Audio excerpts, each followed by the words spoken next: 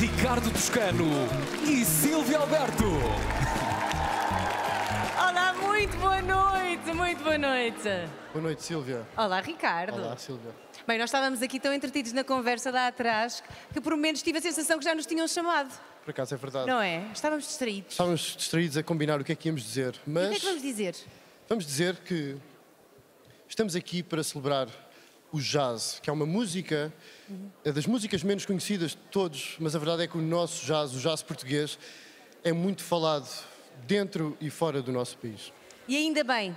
Na verdade, o, o termo jazz foi utilizado pela primeira vez em Portugal num artigo do jornal A Capital. Estávamos no ano de 1919. Como podem ver, é mais de um século de história que estamos aqui hoje a celebrar. É isso mesmo, vamos celebrar anunciando os nomeados para melhor álbum de jazz. E eles são.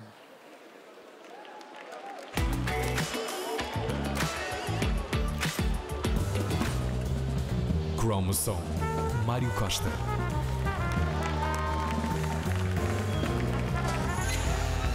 Hexagon, Access.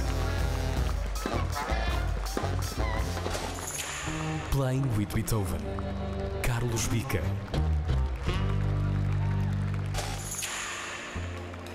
The River, João Paulo Esteves da Silva Trio.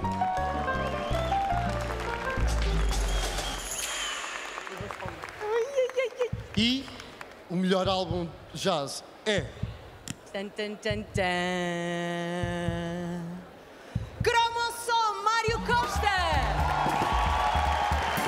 Baterista Mário Costa também assegura a eletrónica e a composição de todos os temas. Mário Costa é também baterista de Ana Moura, acompanhando-a nas digressões e já trabalhou com nomes como António Zambujo e Miguel Araújo. Nesta edição do Play 2024, melhor álbum jazz, Chromosome, Mário Costa.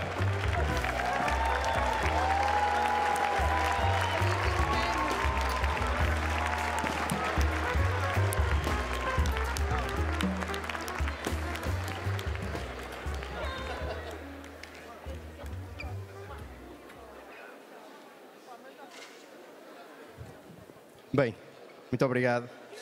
Eh, eu desde miúdo sempre sonhei em estar nos palcos. Claro que não era para receber prémios, era mais para tocar. Por isso, estou muito feliz de estar aqui hoje.